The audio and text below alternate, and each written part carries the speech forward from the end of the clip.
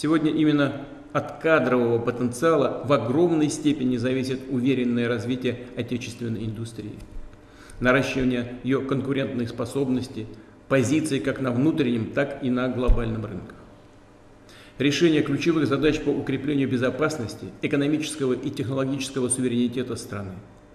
И потому так важно, что на наши предприятия приходит все больше молодых профессионалов, компетентных, грамотных, творческих и по-современному мыслящих, готовых брать на себя ответственность, предлагать нестандартные решения.